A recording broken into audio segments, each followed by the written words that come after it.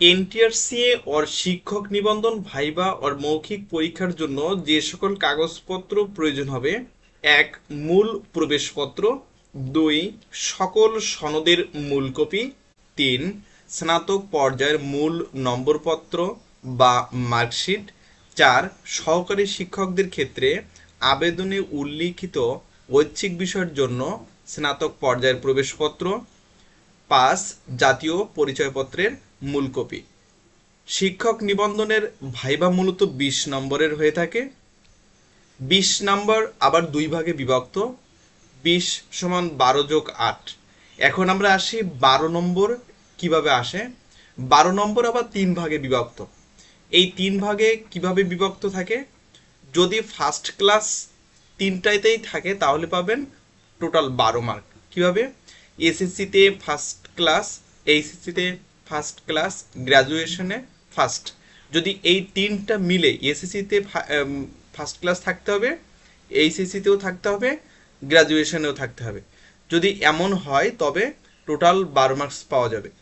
যদি একটিতে second class থাকে, অর্থাৎ যদি এসএসসিতে সেকেন্ড ক্লাস থাকে, তবে তিন, বাকিগুলো যদি ফার্স্ট ক্লাস থাকে, চার চার হিসাব করে এভাবে হিসাব করতে হবে। যদি থার্ড ক্লাস থাকে, তবে পাবন দুই করে। এভাবে হিসাব বের করতে হবে। এবার আসি আটের হিসাব। আট নম্বর, আবার দুই ভাগে বিভক্ত। প্রথমত, প্রশ্নোত্তর পর্বের জন্য চার নম্বর এবং পোশাক পরিচ্ছেদ প্রেজেন্টেশন ও পারফরমেন্সের উপর চার নম্বর। পাস করতে হলে বারোতে চল্লিশ পার্সেন্ট ও আটে চল্লিশ পার্সেন্ট পেতে হবে। এখন এনটিআরসি শিক্ষক নিবন্ধন ভাইবা টিপস আর ভাইবা বোর্ডে যে প্রশ্নগুলো প্রায়ই করা হয় আপনাকে প্রথমত যে বিষয়টা মনে রাখতে হবে, যে ভাইবা বোর্ডে যারা থাকেন, তারা কিন্তু নানাভাবে যাচাই বাছাইয়ের মাধ্যমে আপনাকে তাদের প্রতিষ্ঠানে নিয়োগ দেবেন। একজন চাকরি প্রার্থীর শিক্ষাগত যোগ্যতার পাশাপাশি তার স্মার্টনেস উপস্থাপন কৌশল, বাচনভঙ্গি এসব বিষয় কিন্তু কম গুরুত্বপূর্ণ নয়। ভাইবা বোর্ডে ঢুকেই অনেকেই নিজের অজান্তে প্রথমে নিজেকে অযোগ্য প্রমাণ করে বসেন। নিয়োগদাতারা তেমন কোনো প্রশ্ন না করেই বা সৌজন্যতার খাতিরে দু একটি প্রশ্ন করেই বিদায় করে দেন। এরকম পরিস্থিতি এড়াতেও নিজেকে যোগ্য করে উপস্থাপন করার জন্য জেনে নিন কিছু কৌশল। প্রথমত আমরা যে বিষয়গুলো খেয়াল রাখব ভাইবোর্ডের যে প্রশ্নগুলো প্রায়ই করা হয়। কি করা হয়? প্রথম প্রশ্ন হতে পারে এমন, আপনার নাম কি? সুন্দর করে আপনার নামটি বলবেন। আপনার নামের অর্থ কি? এই নামের একজন বিখ্যাত ব্যক্তির নাম বলুন। আপনার জেলার নাম কি? আপনার জেলাটি কেন বিখ্যাত? আপনার জেলার একজন বিখ্যাত মুক্তিযোদ্ধার নাম বলুন। আপনার জেলার একজন বিখ্যাত ব্যক্তির নাম বলুন। আপনার বয়স কত? আজ কত তারিখ? আজ বাংলা কত তারিখ? আজ হিজরি তারিখ কত? আপনি কি কোনো দৈনিক পত্রিকা পড়েন? পত্রিকাটির সম্পাদকের নাম কি? এবং যেটি সবথেকে গুরুত্বপূর্ণ, আপনার নিজের সম্পর্কে ইংরেজিতে বলুন। আমরা এভাবে শুরু করতে পারি। Thanks the viva board members specially the chairperson of the viva board to give me a chance to speak something about myself I am নিজের নাম ফাদার্স নেম মাদার্স নেম এবং এডুকেশন কোয়ালিফিকেশান এবং ফাইনালি থ্যাংক ইউ শিক্ষক নিবন্ধন ভাইবার সব থেকে common প্রশ্ন। কি কমন প্রশ্ন হয়ে থাকে? আপনি কেন শিক্ষক হতে চান? উত্তর, আমি শিক্ষক হতে চাই কারণ, এভাবে আমরা সুন্দর করে প্রেজেন্টেশন করতে পারি। জ্ঞান ভাগাভাগি। আমি বিশ্বাস করি যে জ্ঞান শেয়ার করার মাধ্যমে আমি অন্যদের জীবনে ইতিবাচক পরিবর্তন আনতে পারি। শিক্ষকদের মাধ্যমে আমি ছাত্রদের শেখার আগ্রহ ও জ্ঞানের বিস্তার ঘটাতে পারি। দ্বিতীয়ত, অনুপ্রেরণা প্রদান। আমি ছাত্রদের জন্য অনুপ্রেরণা হতে চাই। তাদের লক্ষ্য অর্জনে এবং নতুন চিন্তার প্রতি উৎসাহিত করতে। পরবর্তী হতে পারে সমাজের উন্নতি, শিক্ষা সমাজের ভিত্তি। আমি একজন শিক্ষক হয়ে সমাজের উন্নতিতে ভূমিকা রাখতে চাই, যাতে ভবিষ্যৎ প্রজন্মের সদস্যরা সক্ষম ও স্বনির্ভর হয়ে ওঠে। নতুন কিছু শেখা। শিক্ষকতা শুধু ছাত্রদের শেখানো নয়, বরং ছাত্রদের কাছ থেকে নতুন নতুন ধারণা ও চিন্তা শেখার একটি সুযোগও। পরবর্তীতে আমরা এভাবে বলতে পারি, ব্যক্তিগত উন্নয়ন। শিক্ষকের পেশা আমাকে ক্রমাগত শিখতে এবং নিজের দক্ষতাকে উন্নত করার সুযোগ দেয়। চ্যালেঞ্জিং এবং পরিতৃপ্তকর। শিক্ষা একটি চ্যালেঞ্জিং কাজ, যা আমাকে প্রতিনিয়ত নতুন নতুন সমস্যার সমাধান করতে এবং নিজের চিন্তা ভাবনাকে প্রসারিত করতে উদ্বুদ্ধ করে। সংক্ষেপে যদি আমরা বলি, অর্থাৎ সার সংক্ষেপে যদি আমরা বলি শিক্ষকতা এমন একটি মহান পেশা যেখানে আমি অন্যদের জীবনে ইতিবাচক প্রভাব ফেলতে পারব এবং নিজেও শিখতে ও বেড়ে উঠতে পারব। এছাড়া আমাদের ভাইবা বোর্ডে আরও বেশ কিছু বিষয় খেয়াল রাখতে হবে। তার মধ্যে থেকে প্রথম যে বিষয়টি রয়েছে, জীবন বৃত্তান্ত। জীবন বৃত্তান্তর ক্ষেত্রে আমরা প্রথমত কি বিষয়গুলো খেয়াল রাখব? ইন্টারভিউ বোর্ডে নিজেকে উপস্থাপনার আগেই জীবন বৃত্তান্ত বা বায়োডাটা উপস্থাপন করার প্রয়োজন হতে পারে। এজন্য জীবন বৃত্তান্ত তৈরির সময় আপনাকে অবশ্যই কৌশলী হতে হবে। অর্থাৎ চাকরি প্রার্থীর যেটা ভালো অর্জন, তা জীবন বৃত্তান্তে আগে লিখতে হবে। আর এতে যেন প্রয়োজনীয় সব তথ্য থাকে, সেদিকে খেয়াল রাখতে হবে। জীবন বৃত্তান্তের সঙ্গে একটি ফরওয়ার্ডিং লেটারও দিয়ে দিতে হবে। কোনো বানান বা ব্যাকরণগত ভুল যাতে না হয়, সে বিষয়ে সতর্ক থাকতে হবে। জীবন বৃত্তান্তেও অনেকেই ভুল তথ্য উপস্থাপন করেন এবং নিজেকে যোগ্য প্রমাণের জন্য সত্য নয়, এমন অনেক তথ্য সন্নিবেশিত করেন। এটি মোটেও উচিত নয়। নিয়োগকর্তারা নিয়োগের পরেও যদি আপনার ভুল তথ্য উপস্থাপনের বিষয়টি ধরে ফেলেন, তাহলে কিন্তু পরবর্তীতে চাকরি চলে যাওয়ারও আশঙ্কা থাকে। দ্বিতীয়ত, যে বিষয়টি খেয়াল রাখা যেতে পারে, প্রয়োজনীয় কাগজপত্র নিতে ভুলবেন না। ভাইবা বোর্ডে আপনার শিক্ষাগত যোগ্যতার ও অভিজ্ঞতার প্রয়োজনীয় সব কাগজপত্র সঙ্গে নিতে হবে। চাকরির আবেদনের সময় এসব কাগজপত্র দিতে হয়। তাই এসব কাগজপত্র নিয়োগদাতাদের কাছে থাকলেও এসব সঙ্গে করে নিতে হবে। ভাইবা বোর্ডের সদস্যরা যে কোনো সময় এসব চেয়ে বসতে পারেন। এছাড়া সঙ্গে জীবন বৃত্তান্ত ও ছবিও রাখুন। আরও একটি কলমও সঙ্গে রাখা দরকার। আর এসব রাখার জন্য ভালো মানের একটি ব্যাগ বা ব্রিফকেস সঙ্গে রাখতে পারেন। তবে একটি বিষয় সচেতন থাকা জরুরি, হাতের ব্যাগ টেবিলের উপর না রেখে পাশে কোথাও রাখা উচিত। এ বিষয়টি গুরুত্ব দিতে হবে। পরবর্তী যে বিষয়টি খেয়াল রাখতে হবে ক্লান্তিভাব ঝেড়ে ফেলুন। সাক্ষাৎকার দেওয়ার সময় আপনার মধ্যে যেন কোনো প্রকার ক্লান্তিভাব না আসে, সেদিকে লক্ষ্য রাখতে হবে। কেউ কেউ নির্দিষ্ট সময় ঠিক আগ মুহূর্ত তাড়াহুড়ো করে ভাইবা বুড়ি এসে উপস্থিত হওয়ার কারণে শরীর ঘামে একাকার হয়ে যায়। তাই নির্দিষ্ট সময়ের অন্তত আধ ঘণ্টা আগে ভাইবা বোর্ডে উপস্থিত হয়ে নিজেকে প্রাণবন্ত করে তুলুন। প্রয়োজনে হাত, মুখ ধুয়ে নিতে পারেন।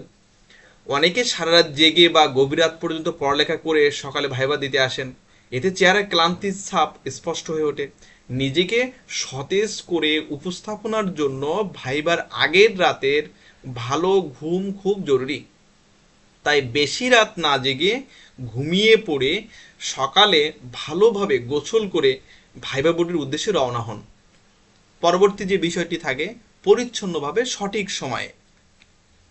অনেকে নির্দিষ্ট সময়ের পরে সাক্ষাৎকার বোর্ডে এসে হাজির হন। এই সময় মতো আসতে না পারাটাই আপনার অযোগ্যতা প্রমাণের জন্য যথেষ্ট। ভাইবা বোর্ডে কোনো ক্রমেই দেরি করে উপস্থিত হবেন না। দেরিতে হলে নিয়োগদাতারা ভাইবা নাও নিতে পারেন বা ভাইবার আগেই বাদ দিয়ে দিতে পারেন। নিজেকে পরিপাটিভাবে উপস্থাপন করার গুরুত্ব কিন্তু অনেক। পরিষ্কার, পরিচ্ছন্ন, শালীন ও মার্জিত পোশাক পরে ভাইবা বোর্ডে উপস্থিত হতে হবে। পোশাকই কিন্তু আপনার ব্যক্তিত্বের পরিচয় দিবে। পরবর্তী যে বিষয়টি খেয়াল রাখতে হবে, সালাম দিয়ে প্রবেশ করুন। ইন্টারভিউ বোর্ডে প্রবেশের সময় সালাম দিয়ে প্রবেশ করুন। প্রবেশের পর অনুমতি না নিয়েই বসে পড়বেন না। অনেকে কথা বলার সময় হাত পা নাড়ে। ভাইবা বোর্ডে কখনোই এরকম করবেন না। আর একটি বিষয় বিশেষভাবে খেয়াল রাখতে হবে, যখন যে ব্যক্তি আপনাকে প্রশ্ন করবেন, তার দিকে তাকে প্রশ্নের উত্তর দিতে হবে। ভাই বোর্ডে যিনি প্রধান হিসেবে থাকেন, অনেকেই শুধু তার দিকে তাকিয়ে উত্তর দিয়ে থাকেন। এটা মোটেও সঠিক নয়। আঞ্চলিকতা পরিহার করুন। ভাইবা দেওয়ার সময় কথা বলার ক্ষেত্রে আঞ্চলিকতা যেন প্রকাশ না পায়, সেদিকে সজাগ থাকতে হবে। কথা বলার সময় খেয়াল রাখতে হবে যেন আঞ্চলিক টান না এসে যায়। প্রশ্নের উত্তর দেওয়ার সময় শুদ্ধ উচ্চারণে কথা বলাও জরুরি। এজন্য আগে থেকেই শুদ্ধ ভাষায় কথা বলার অভ্যাস করতে হবে। ইংরেজি বলার সময়ও উচ্চারণের বিষয়ে সতর্ক থাকতে হবে। প্রতিষ্ঠান সম্পর্কে ধারণা নিন। ভাইবা বোর্ডে উপস্থিত হওয়ার আগে নিয়োগদাতা প্রতিষ্ঠান সম্পর্কে যথাসম্ভব জেনে নিতে হবে। যদি সম্ভব হয় ভাইবা বোর্ডে কারা কারা থাকবেন, সে সম্পর্কেও জেনে নেওয়া ভালো। ভাইবার আগে হন্তদন্তভাবে হাজির না হয়ে হাতের সময় রেখেই যথাস্থানে উপস্থিত হতে হবে। সবচেয়ে ভালো হয় আগের দিনই পরীক্ষার কেন্দ্রটি দেখে আসা। এক্ষেত্রে বাড়তি সুবিধাও পাওয়া যায়। পরবর্তী যে বিষয়টি খেয়াল রাখতে হবে, ধূমপান করে ভাই ভাই যাওয়া যাবে না। অর্থাৎ ধূমপান করে ভাই ভাই যাবেন না। ভাই ভাই বোর্ডে প্রবেশের আগে কোনো ক্রমেই ধূমপান করবেন না। ভাইবার আগে ধূমপান পরিহার করাটাই হবে বুদ্ধিমত্তার পরিচয়। আপনি যদি ধূমপান করে আসেন, আর ধূমপানের কারণে আপনার মুখ থেকে যদি সিগারেটের গন্ধ বেরোতে থাকে, তবে ভাইবা বোর্ডে যারা থাকবেন, তারা বিষয়টি সহজভাবে নেবেন না। এটি আপনার অযোগ্যতা প্রমাণের জন্য যথেষ্ট। এছাড়া অনেকেরই পান খাওয়ারও অভ্যাস রয়েছে। এক্ষেত্রে এটিও পরিহার করতে হবে। পরবর্তী যে বিষয়টি রয়েছে, সংক্ষেপে ও হাসি মুখে উত্তর দিন। ভাইবা বোর্ডে যে বিষয়ে প্রশ্ন করা হয়েছে, শুধু সে বিষয়েই উত্তর দিতে হবে। বেশি কথা বলা বা অপ্রাসঙ্গিক, বেশি কথা বলা বা অপ্রাসঙ্গিক কোনো বিষয়কে টেনে না আনা, এটাই ঠিক হবে। আবার গোমরা মুখে বসে থাকলেও কিন্তু তা অযোগ্যতা হিসেবে বিবেচিত হবে। ইন্টারভিউ বোর্ডের সদস্যরা বেশি কথা বলা যেমন পছন্দ করেন না, আবার গোমরা মুখের মানুষকেও পছন্দ করবেন না। আর ইন্টারভিউ বোর্ডে একটি বিষয় মেনে চলার চেষ্টা করুন, তা হলো সব প্রশ্নের উত্তর দেওয়ার সময় হাসি মুখে উত্তর দিন। তবে অকারণেও কিন্তু আবার হাসা যাবে না।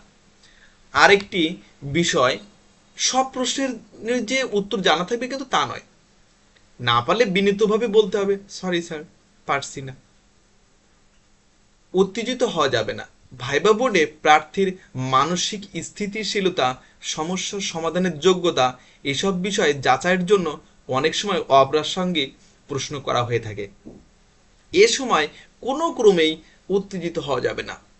অনেক সময় প্রার্থীর মানসিক মতামত যাচাইয়ের জন্য একসঙ্গে অনেকেই প্রশ্ন করে বসেন। এমনকি অনেক সময় বিব্রতকর প্রশ্নও করা হয়। এ সময় কোনো ক্রমেই মাথা গরম না করে সব কিছু সহজভাবে নিতে হবে এবং শান্তভাবে তাদের সব প্রশ্নের জবাব দিতে হবে। বিনীতভাবে নিজেকে উপস্থাপন করুন। ভাইবা বোর্ডে সব প্রশ্নের উত্তর বিনীতভাবে দিতে হবে। ইন্টারভিউ বোর্ডে প্রশ্নের উত্তর দেওয়ার সময় সোজা হয়ে বসতে হবে। চেয়ারে হেলান দিয়ে বসাটা ঠিক হবে না। এতে চাকরি প্রার্থীর সম্পর্কে বিরূপ মনোভাব সৃষ্টি হতে পারে। ভাইবা শেষে হাত মেলাতে পারেন, তবে সেটা পরিস্থিতি অনুযায়ী। অনেকেই স্মার্টনেস দেখাতে গিয়ে নাটকীয় ভঙ্গিতে প্রশ্নের উত্তর দেওয়ার চেষ্টা করেন, নিজেকে ওভার স্মার্ট ভাবা ঠিক নয়। সুন্দর, সাবলীল ও বিনীতভাবে প্রশ্নের উত্তর দেওয়ার মাধ্যমেই যোগ্যতার বহিঃপ্রকাশ দেখানো যেতে পারে। মিথ্যার আশ্রয় নেবেন না। ইন্টারভিউ বোর্ডে কখনোই নিজের যোগ্যতার বিষয়ে কোনো মিথ্যার আশ্রয় নেবেন না। কোনো মিথ্যা তথ্য আপনার জন্য সম বিপদ ডেকে আনতে পারে। মিথ্যা তথ্য দিয়ে না হয় চাকরি হলো ক্ষেত্রে পরে আপনার সমস্যা হবে। সেটি প্রকাশ পেলে আপনার প্রতি নিয়োগদাতা প্রতিষ্ঠানের আর কোনো বিশ্বাস থাকবে না। এমনকি আপনার চাকরিও চলে যেতে পারে। আরও একটি বিষয় আগে থেকেই জেনে নিতে হবে, চাকরির ক্ষেত্রে আপনার দায়িত্ব কি কি হবে ও বেতনের কাঠামো কেমন হবে, বেতন ভাতা নিয়ে বাগবিতণ্ডা না করাই ভালো। তবে এটাও বলা যাবে না, আপনারা যা দিবেন তাই। এক্ষেত্রে এটি দুর্বলতার প্রকাশ হতে পারে। আর হ্যাঁ ভাইবা বোর্ড থেকে বেরোনোর সময় অবশ্যই সবাইকে কিন্তু ধন্যবাদ দিয়ে বেরোতে হবে। নিবন্ধনে কারা ফেল করে? সতেরোতম নিবন্ধন মৌখিক পরীক্ষায় অংশ নিয়েও এক হাজার দুশো পঞ্চান্ন জন প্রার্থী ফেল করেছেন। ফেলের কারণ হিসেবে এখানে যেগুলো পাওয়া গিয়েছে যে এনটিআরসি কর্মকর্তাদের কাছ থেকে সেই বিষয়টি হচ্ছে ভুল বিষয়ে আবেদন। যদি কিনা আপনার নিজস্ব সাবজেক্ট ব্যতীত অন্য কোনো বিষয়ে আপনি যদি আবেদন করে থাকেন, তাহলে সেই আবেদন গ্রহণযোগ্য হবে না। মৌখিক পরীক্ষায় নিজের নাম পরিচয় সঠিকভাবে উপস্থাপন করতে না পারায় এটাও একটি কারণ হতে পারে। অনেকে উত্তীর্ণ হতে পারেননি বলে জানিয়েছেন এনটিআরসি কর্মকর্তারা। তাছাড়াও পঁয়ত্রিশ প্লাস বয়স হয়েছে যাদের। সার্টিফিকেটে বারো এর মধ্যে নয় পেতে হবে। আপনার যদি তিনটি সনদের মধ্যে দুইটাই তৃতীয় শ্রেণি থাকে, তাহলে আপনি নয়ের কম পাবেন। আপনাকে ভাইভাতেই বাদ দিয়ে দিবে। এবং মৌখিক পরীক্ষা আপনাকে আটের মধ্যে চার পেতে হবে, তিন দিলে আপনাকে ফেল মোট কথা আপনাকে তেরো পেতে হবে বিশের মধ্যে এবং দুইটাই আলাদাভাবে পাশ করতে হবে।